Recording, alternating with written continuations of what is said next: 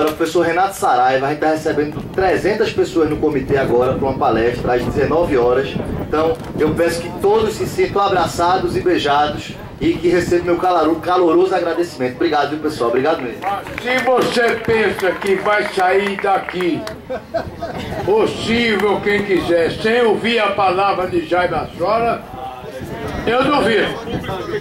Porque a história em Pesqueira e a história das mudanças, Pedro, e a história das mudanças, Henrique Mariano, que não está aqui.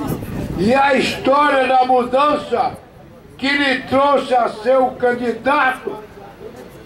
Você, Guto, e você, Rony, a história começou com esse homem. Com um cara que eu tive até toxicolo, porque sentado lá na Giovana Pizzaria, eu ficava olhando para ele, ele em pé, e uma vez eu pedi, cara, senta, que eu não aguento mais, eu já estou quase com toxicolo. Foi quem deu origem, e foi quem disse aqui em Pesqueira. Eu o questionei no meu mesão. Eu o questionei. Se você for candidato à reeleição, não terá o meu voto. Com a palavra, doutor Jaime Asfora, o melhor presidente da OAB de Pernambuco.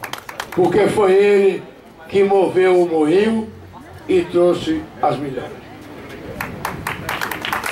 Pessoal, eu fico sem jeito de falar desses exageros todos, mas eu queria só dizer uma coisa. Foi em 2006, Silvio sabe que começou, em 2006, onde começou nossa caminhada rumo à vitória desse grupo, para uma nova OAB, começou aqui em Pesqueira. Foi a primeira cidade que a gente visitou, eu e Pedro, inclusive. Né? Quando ninguém acreditava na gente, ainda era zebra. Eu conheci Silvio aqui, tinha conhecido pelo telefone, mas aqui gente começou uma amizade, e uma amizade baseada em princípios e numa luta igual.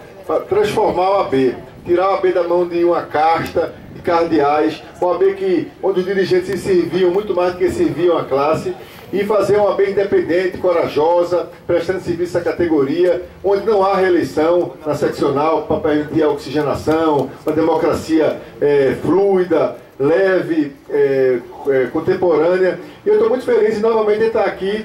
Rony lembrou que começou o período eleitoral aqui, que Pesqueira, além de trazer bons fluidos, tem excelentes militantes dessa nova OAB, que são vocês, né? que se renovam também. Estão aqui os de 2006, tem vários rostos novos. Então eu queria agradecer a Guto, a Silvio, a Carmelo, nosso ex-presidente amigo também, a Sérgio, que é um grande amigo, a advocacia mais jovem, é, que está aqui, e também a mais experiente na pessoa de Daniel.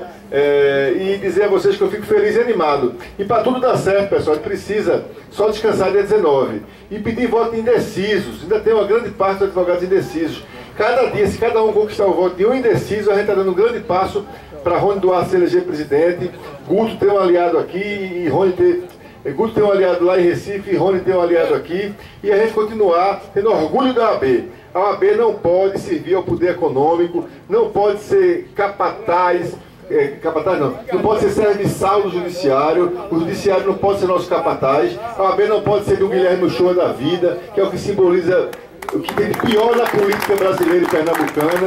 A OAB não pode servir a escória da política, pelo contrário, ela tem que fazer o que ela sempre fez, combater a escória da política e lutar por uma política nova, diferente, onde o interesse público prevaleça. Então, muito obrigado e eu fico muito feliz sair daqui de Pesqueira. Obrigado mais uma vez.